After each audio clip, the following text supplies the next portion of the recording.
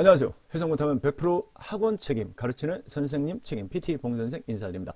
오늘은요, 저번 시간에 이어서, 이, 저번에는 이 PT 봉선생 목차를 설명했는데요. 오늘 시간은 이 PT 봉선생 기초 구문독해나 기본 구문독해를 공부하는 방법과 그 다음에 책이 어떻게 구성됐는지 알아보는 시간을 갖도록 하겠습니다. 자, 저번 시간에 했던 목차인데요. 쭉 내려와가지고 이제 인칭대명사, 그 다음에 전치사 이렇게 있죠.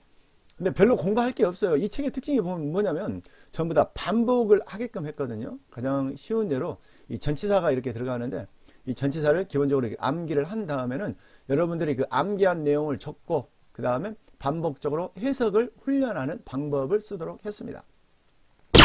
예를 들어서 이 문장을 한번 봐볼게요. 우리 전치사는 일반적으로 이렇게 전치사 우리 아까 외웠잖아요. 전치사. 이 전치사가 이렇게 많아지면서 즉 전명구가 많아지면서 이렇게 문장이 길어집니다. 이걸 연습하는 거예요.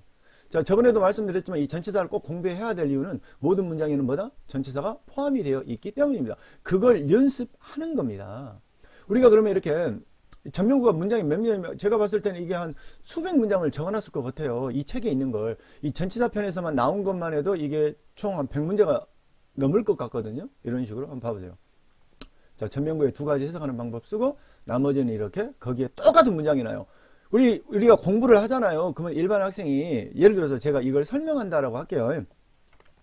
야, 우리가 일반적으로 이렇게, 음? 명사 뒤에 전명구가 나오면 어디 어디에 있는이라고 해석을 한다라고 가르쳤을 때, 가르치는 순간은 안다니까요. 당연히 알죠. 대부분의 학생들이 다 압니다. 근데 문제는 뭐냐면, 오늘이 지난 내일도 하고, 모레, 그 다음에 한 달 후, 1년 후, 이게 아냐 문제예요. 모릅니다. 우리가 어떠한 단어를 알면 그 단어를 20번 또는 30번 학생들마다 다르겠지만 잊어먹고 암기하고 잊어먹고 암기하고 이래야지 자기 것이 돼요. 근데 마찬가지입니다. 이 해석 방법도요. 지금 배우는 이 순간은 너무나 쉬워서 안다니까요. 그러나 오늘, 네 지나고 내일 모레 또는 한 달 후에 일반 학생들이 아냐 모르냐고 모른다고요. 그러니까 제가 강조하고 싶은 게 뭐냐면 일반 해석은 쉬워요. 엄청 쉬워요. 진짜로. 초등학교 3, 4학년들이 저랑 1, 2년 공부하면 무조건 1, 2년 안에 중학교 교과서, 고등학교 교과서 읽는다니까요. 100%. 근데 왜 니랑 공부하지 않는 다른 학원 학생들은 왜 영어를 해석을 못하냐? 간단합니다. 쉬운데도 오늘 아니까 지금 가르치는 이 순간 아니까 안 시킨다니까요. 반복적인 훈련을. 그러니까 못하는 거예요. 이게 첫 번째입니다. 두 번째. 문법을 강의를 하는 것은 여러분 우리가 문법을 왜 공부해요? 문장을 분석을 해가지고 해석을 잘하기 위해서 우리가 공부하는 게 문법이에요. 근데 뭡니까? 문법은 전부 다 S를 쓰니, to를 쓰니, ING를 쓰니 이것만 가르치니까 아이들이 공부를 못하는 거예요. 해석을 못하는 거예요. 그런 거 배워야 영어 향상 1도 도움이 안 된다라는 사실 반드시 기억하셔야 됩니다. 그래서 하고 싶은 말이 뭐냐? 반복을 해라. 지금 이거요. 이거 한 문장을 계속 써놨잖아요. 뭡니까? 전치사 뒤에 명사 나오는 거 검은 글씨 전치사 뒤에 명사 나온 걸 이걸.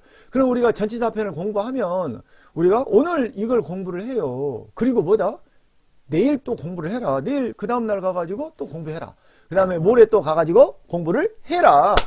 반복적인 훈련만이 여러분의 영어 실력을 향상시킨다니까 진짜 해석 쉬워요. 그래서 이제 전치사가 이렇게 끝납니다. 이렇게 전치사가 쭉 끝나. 다 전치사잖아요. 봐보세요 똑같은 문장 연습한 거다니까요. 다 똑같은 연습. 쭉, 쭉. 자, 이제 사형식으로 왔네요. 이렇게. 사형식도 간단해요. 여러분. 사형식, 이거 문장 하나 해석 연습시키는 거예요. 멋멋에게 멋멋을. 이거 한 문장 시키는데, 이렇게 많이 적어놨다니까, 이렇게. 어? 이렇게 많이 적어놨어요. 이거, 멋멋에게 멋멋을 이렇게 하려고, 멋멋해서. 그래서, 똑같아, 공부하는 방법은. 뭐요? 오늘 했다, 이거. 그러면 오늘 했으면 오늘은 알 거 아니야. 그럼 뭐다? 하루나 이틀 후에 또 이걸 공부한다. 이렇게. 그 다음날 또 이렇게 공부한다. 반복을 하게끔 해놨다니까. 기껏 사형식 문장, 문법 가르치는 거 아니잖아요, 제가. 뭐야, 뭐뭐에게 뭐뭇을, 이거요. 이거 가르친다니까요. 오형식으로 갑니다. 오형식 많이 가르칠 것 같아요? 오형식 딱 세 개 가르쳐요. 이렇게 지각동사 해석하는 방법. 그 다음에 넘어가지고 사역동사 해석하는 방법. 이거요. 그 다음에 또 넘어가가지고 음? 일반 동사 해석하는 방법. 해석하는 방법 다 똑같습니다. 뭐요? 늙은이가로 해석하지 마라. 제발.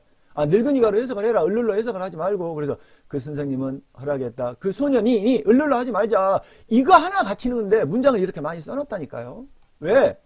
우리 학생들은 천재가 아니기 때문에 끝없이 반복을 해야 된다고. 끝없이 이렇게. 그러니까 저랑 공부하는 학생들은 해석을 잘하는 거예요. 그게 초등학생이 됐던 중학생이 됐던요. 응? 똑같은 문장 구성을 딱 했어요. 어? 그리고 응? 우리가 어느 정도 숙달이 되면 이렇게 검은 글씨를 딱 쳐놨지만 이거 주의해서 공부하라 이렇게. 근데 어느 정도 숙달이 되고 우리가 7페이지 정도를 응? 7페이지 정도를 공부할 때는 검은 글씨가 없어졌잖아 이제. 네가 알아서 찾아봐라 이렇게. 이렇게. 이 문장 하나의 문장을 연습시키는데 이렇게 많은 문장을 써놨습니다. 왜?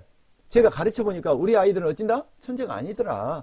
어? 근데 엄청 쉽다. 꾸준히 반복을 하면 이렇게 우리가 배웠던 금방 배웠던 전치사, 사형식, 오형식을 혼합 문제로 만들어 봤어요.